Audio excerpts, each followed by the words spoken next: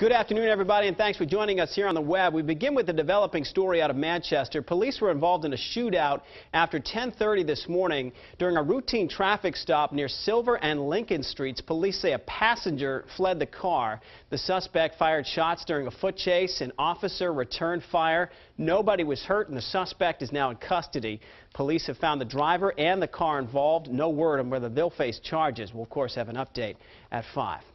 Meantime, wintry weather is expected to cause some problems out on the roads throughout the day and into the evening commute. Police blame slippery roads for a number of crashes this morning, including this one on I-89 in Enfield. Several vehicles were involved.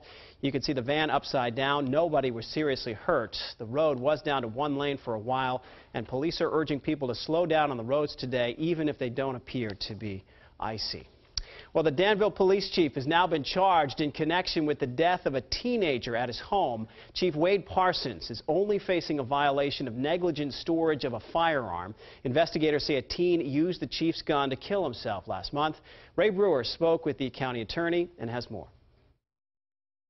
If you have a dangerous weapon, you're responsible for storing it and to protect children from it. That's the reason Rockingham County Attorney Jim Reams says they've decided to charge Danville's police chief with a violation, punishable by a fine up to $1,000.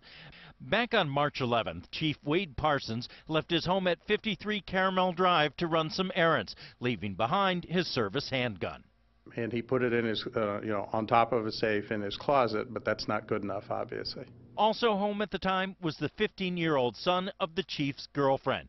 The teen got a hold of the weapon and took his own life. Reams says they don't have any explanation for why the teen shot himself.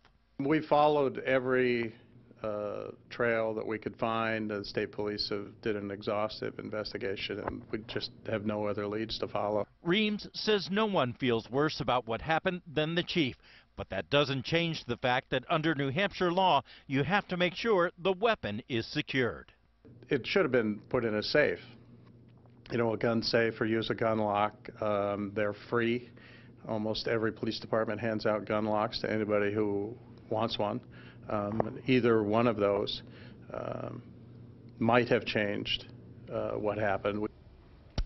Danville is one of the departments that does issue free gun locks. Reams says that a summons will be issued to the chief and that most likely there will be a court appearance within 30 days. Two people have come forward in Goffstown saying they were hit with plastic pellets this week. Several people in Manchester also report being shot at.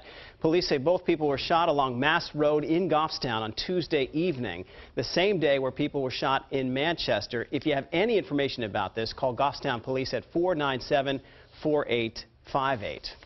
Manchester police are waiting for nature to take its course after they say a man stole a diamond ring from a local jeweler and then swallowed it. Investigators say 52-year-old Ronald Purley asked to see some engagement rings at Bellman's Jewelers and then tried to run off with one worth 3,200 bucks. When he couldn't escape through a locked security door, he allegedly swallowed the ring. An X-ray later confirmed he still has it.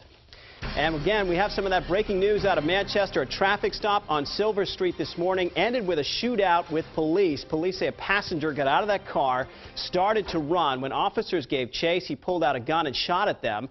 And that's when police returned fire. Nobody was hit. The suspect was taken into custody.